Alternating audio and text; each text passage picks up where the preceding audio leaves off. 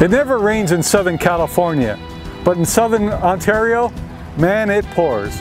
Which is why we're sitting on the tailgate of these two high-end sport luxury SUVs. The 2019 Porsche Cayenne S and the 2019 BMW X5 xDrive 50i. That is one mouthful of a name. new for 2019, fourth generation X5, third generation Cayenne. This thing is way cheaper.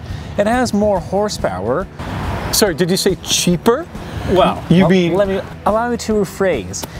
It costs less, it has more horsepower, it has two extra cylinders, and it has a boatload of more equipment.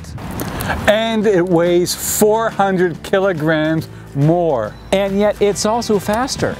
marginally. Let's find out which is the better of these two high-end luxury sport SUVs.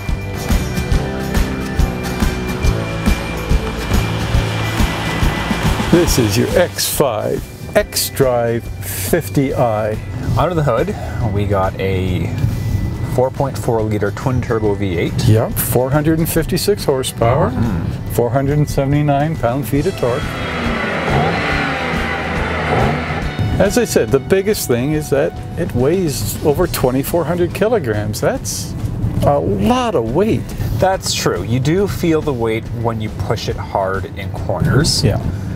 But it makes up for that in straight line speed.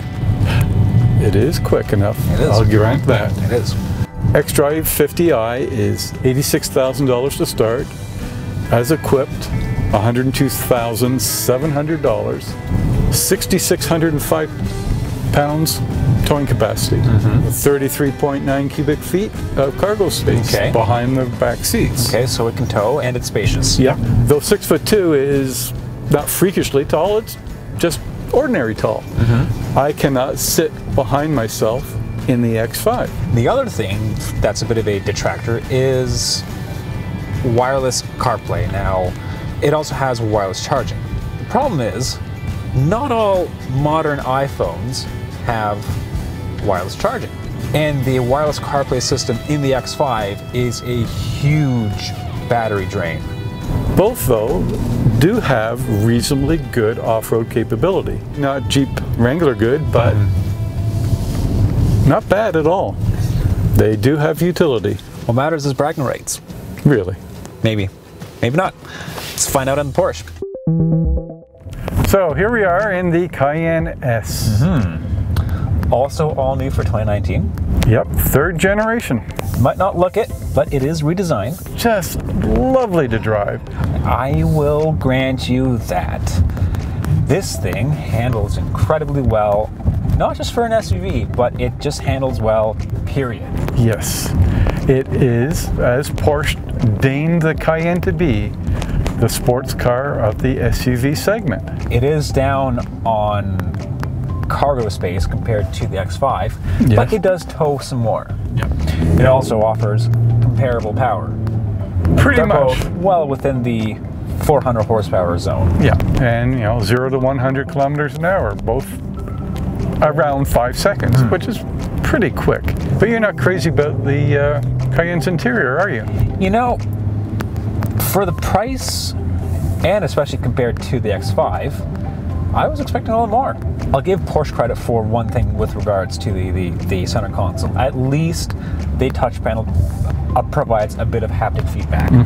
The only thing I missed that was on the X5 is the head-up display. It's also missing massaging seats, semi-autonomous cruise control that also steers for you.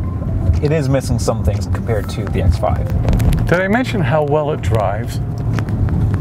I think you mentioned that a couple of times. Did I, did I mention how the Cayenne is down two cylinders compared to the X5? But it makes the same amount of power, just about. And yet, Smaller displacement. and yet, therein lies the rub. It's almost the power. Yeah, but it gets better fuel economy. That's true. It does. And you know It what? is.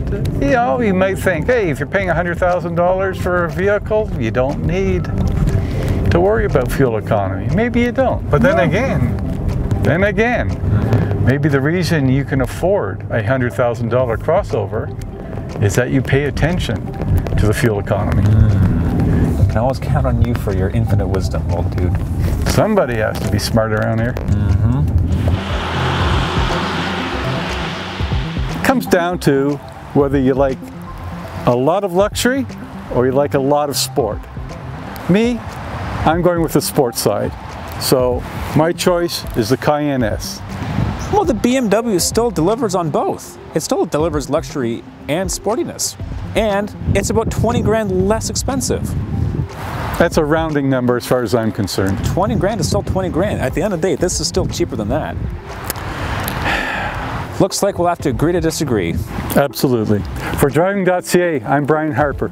And I'm Nick Tragianis. And before you go, don't forget to subscribe. As always, the button's over Brian's face. And tell us what we should compare next.